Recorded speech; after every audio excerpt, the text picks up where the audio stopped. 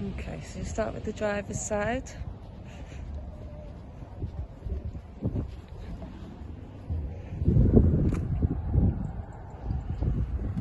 So it does need to clean, but I think you'll agree, a pretty tidy car.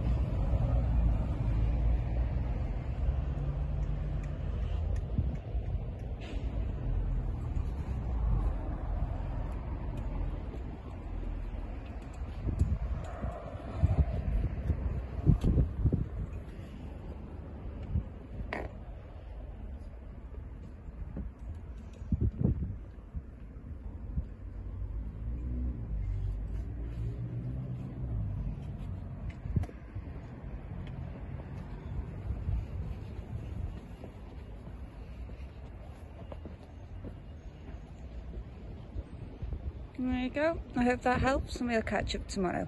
Thanks again. Bye bye.